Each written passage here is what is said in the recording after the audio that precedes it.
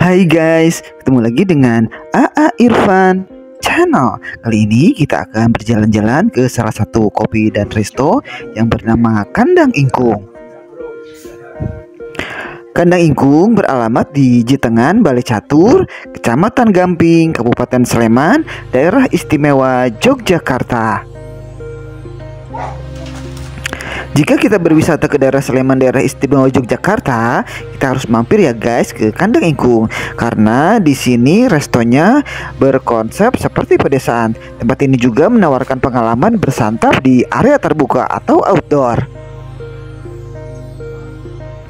Di area pintu masuknya, suasana pedesaan sudah terasa dengan adanya pohon-pohon besar yang rimbun.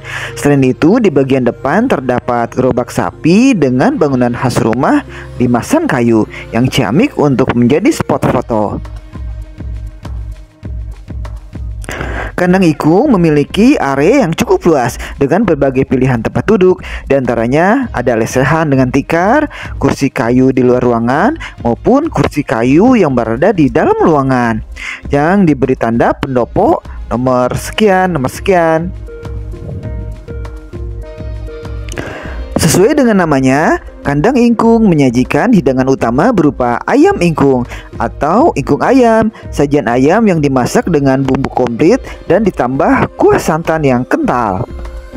Ingkung ayam di tempat ini biasa dinikmati sesuai selera, itu dengan digoreng atau diberi kuah santan, lalu disajikan di atas tampah bersama menu pelengkap lainnya.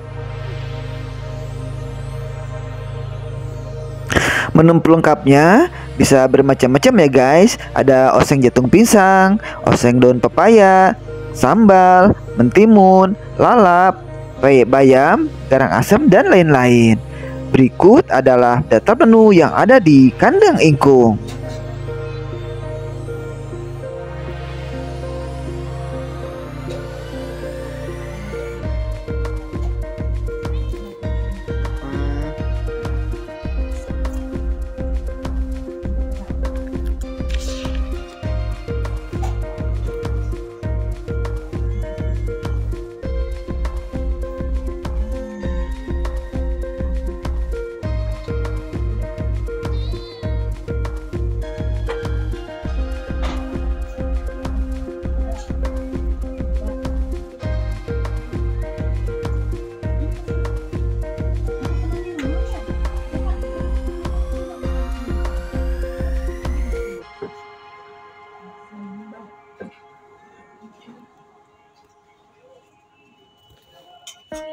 好。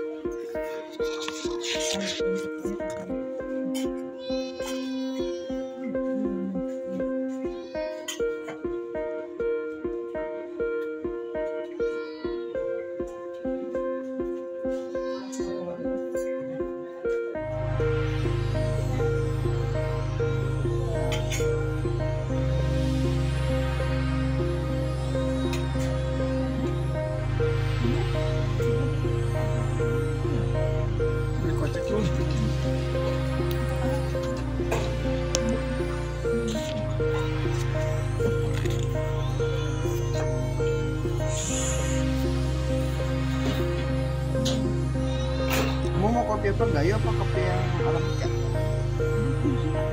ada. Ini gulanya gula batu.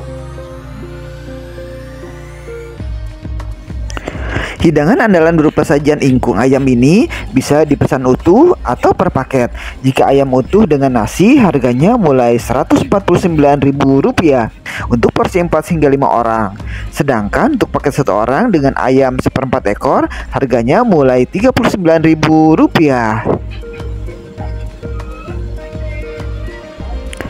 Terima kasih sudah menonton video ini. Jangan lupa untuk subscribe, like, komen, dan nyalakan loncengnya agar tidak ketinggalan video-video terbaru dari AA Irfan Channel.